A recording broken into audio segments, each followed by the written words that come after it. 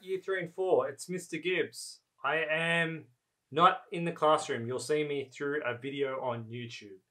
But I'm not going to be giving up my computing job anytime soon because I like you guys so much. So I'm going to keep coming to computers every week. I'm just not there today. Alright, so we're going to be looking at social media. For those that aren't sure what social media is, you're going to learn that it's a bunch of programs that you can use to communicate.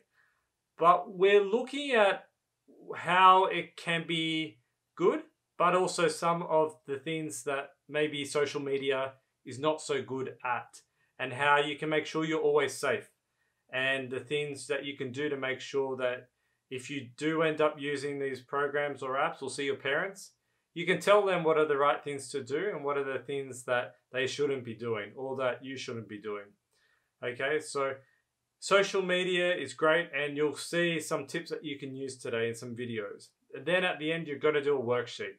Now, one of the videos has some actors in there. I will stress they are actors. Last year, some students saw this and they thought they were real people, but they're not real people. So this video, which has a story of a girl and uh, a man, they are actors in the film, right? But they're trying to show you that there is a real um, a sense of um, using social media in a safe way.